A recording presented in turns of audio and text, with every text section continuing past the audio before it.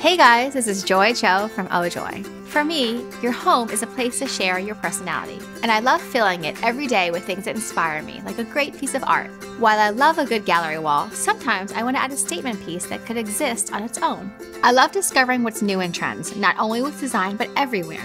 Lately, I've been loving curate bars and the unexpected ways they bring together ingredients to create something delicious.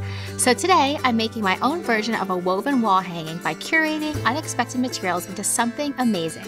I'll show you how to turn paper into a piece of art simply by applying a few simple techniques and combining a ton of fun colors together. To start, you'll need 12 by 12 inch craft paper, scissors or an X-Acto knife, a ruler, a pencil, regular tape, picture hanging strips.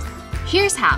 Sketch out a pattern and color scheme you'd like to create for your wall hanging. Using a ruler, mark 1 inch strips all the way across the first sheet of craft paper. So you should have 12 strips in total. Cut each 1 inch strip, leaving an inch at the top of the sheet. Fold up each strip individually to the back side of the paper to create the shape you want and secure the end with regular tape.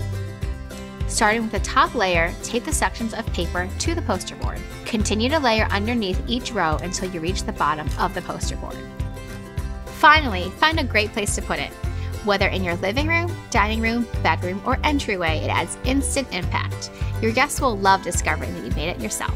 Thanks so much for watching. If you have any comments or questions, please leave them below. And please subscribe to the Ojoy YouTube channel.